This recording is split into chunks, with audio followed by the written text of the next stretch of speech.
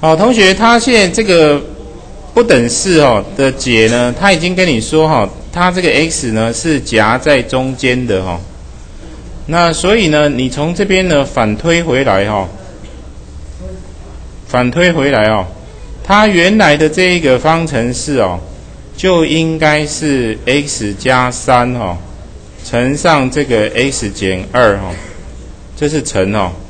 乘 x 减二呢。它要小于零哈，好，如果这两个括号乘起来小于零的话呢，那么它的这个解哈就可以推得介于负三跟二之间哈。好，这个跟刚才那一题的刚好是颠倒的哦。我们刚才那一题呢，你把它分因式分解之后啊，它小于零，所以我们说它的解呢是夹在中间的哈。那现在这个解呢，它夹在中间哈。所以呢，我们马上就可以知道，它这两个括号相乘呢是小于零的哈，好是小于零的。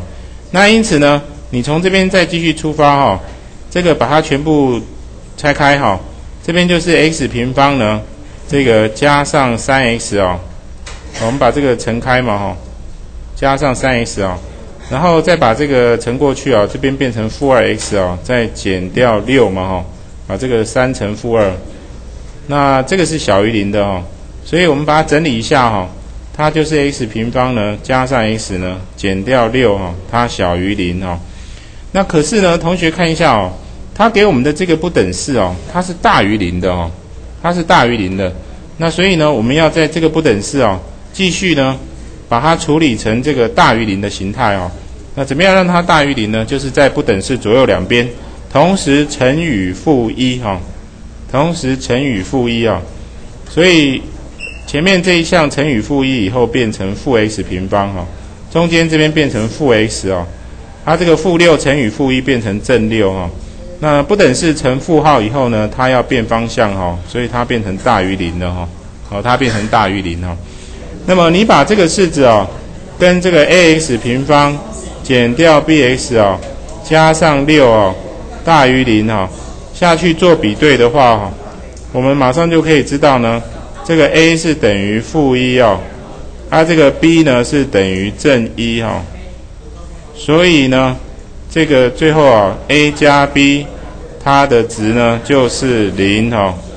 好，a 加 b 的值就是零哈。那同学这一题哈，它刚好跟之前的解题呢完全相反哈。我们通常解题的时候啊。都是拿到一个像这样子的一个方程式哦，然后你要下想办法呢下去把它处理成 x 平方前面系数是正的哦，然后呢再下去做什么？做因式分解嘛哦，做因式分解，最后得到它的解集合哈，好它这个解的范围哈，那这个题目呢刚好颠倒过来哈，所以呢这个是一个很重要的动作哈。就是如果你已经知道呢，x 它介于负三到二之间的话，那我们马上就知道呢，这个 x 加三乘上 x 减二小于零哈。那从这边开始哦，整个过程呢就可以颠倒。